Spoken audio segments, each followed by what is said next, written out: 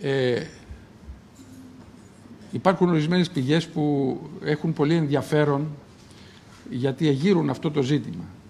Ένας Κινέζος που επισκέπτεται την Κωνσταντινούπολη εκφράζει την απορία του.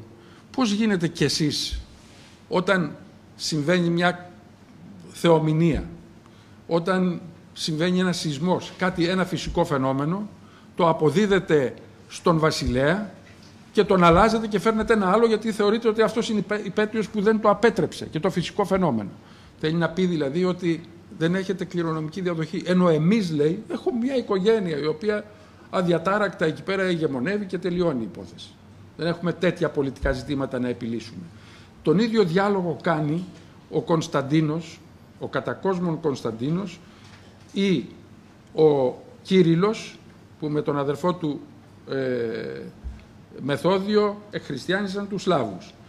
Ε, όταν πηγαίνεις στους Χαζάρους, πάλι το ίδιο πράγμα. Πώς γίνεται και εσείς κάθε λίγο και λιγάκι εκλέγετε άλλον από άλλη οικογένεια. Και μάλιστα μετέχει ο Δήμος της Κωνσταντινούπολης.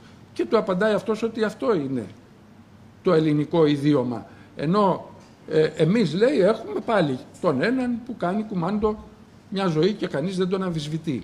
Ε, η, η διαδοχή που ε, επικαλείστε ε, έχει να κάνει με ένα θεσμό που τον επινόησαν οι Βυζαντινοί διότι αυτό το σύστημα της εκλογής διαβίου παρόλο ότι είχαν το δικαίωμα να ανακαλούν ε, οδηγούσε σε αυτό που συνέβαινε. Δηλαδή αν κάποιος φιλοδοξούσε έτσι να ανέβει και αυτός στην εξουσία τι έκανε; ε, θα συνελάμβανε, θα εξόριζε, θα ενθάρρυνε το Δήμο να τον ε, καθαιρέσει από την εξουσία όπως έγινε με την περίπτωση του Ιστινιανού που αιματοκύλησε στη συνέχεια την πόλη ε, και ούτω καθεξής. Η, ε, αυτό το φαινόμενο όμως ε, έχει να κάνει με το ιδίωμα που το επισημαίνουν οι ίδιοι οι Βυζαντινοί της ισοβιότητας. Λέει ο Ανδρώνικος ο τέταρτος όταν δημιουργεί, συγκεντρώνει τον κόσμο και τους συγκλητικούς έξω από την Κωνσταντινούπολη στη Θράκη ε, ε, τους λέει είναι ανομαλία να υπάρχει ένας ο οποίος μπορεί να γεράσει, να μην μπορεί να μετακινηθεί αλλά να είναι και αρχηγός του στρατού και να μην μπορεί να πάει σε εκστρατείες και να είναι ισόβιος τη στιγμή που είμαστε κι άλλοι που περιμένουμε να ασκήσουμε εξουσία. Ε, εφήβραν λοιπόν, επινόησαν την συμβασιλεία. Εάν ήθελαν δηλαδή να υπάρξει διαδοχή, την περνούσαν μέσα από μία διαδικασία ουσιαστικά εκλογής εν ζωή του διαδόχου.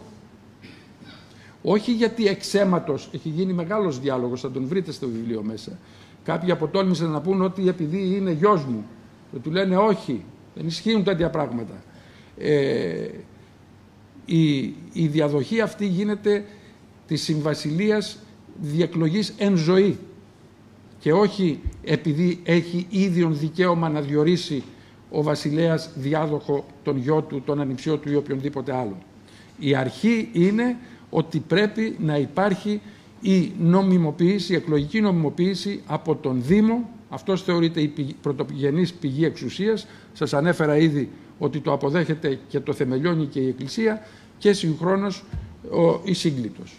Να τονίσω επίσης, γιατί ξέχασα, ε, είναι το πρώτο, η πρώτη πολιτεία πρόνοιας, μια νοσοκομιακή και προνοιακή πολιτική που σήμερα αμφιβάλλω αν τη συναντάμε, ε, είναι ιδίωμα του Βυζαντίου.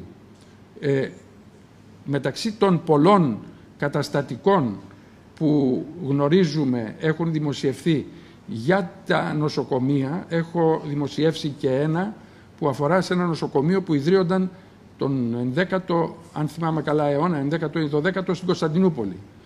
Ε, δόθηκε από μαθητή μου σε διευθυντή νοσοκομείου και του λέει μπορείς να μου πεις, χωρίς να πει ότι είναι Βυζαντινό, μπορείς να μου πεις σε ποιο νοσοκομείο ε, ανήκει αυτό; Και του λέει κατελάχιστον στο, στο Ίδρυμα Ωνάση, κάτω, στο Ωνάσιο. Δηλαδή στο ανώτερο νοσοκομιακό ίδρυμα της σημερινής Ελλάδας. Τέτοια πρόνοια για το πώς θα λειτουργεί όλο το φαρμακευτικό, το ιατρικό ε, σύστημα κλπ. Από το χειρουργείο μέχρι οποιαδήποτε άλλη ασθένεια. Αυτό ήταν το Βυζάντιο.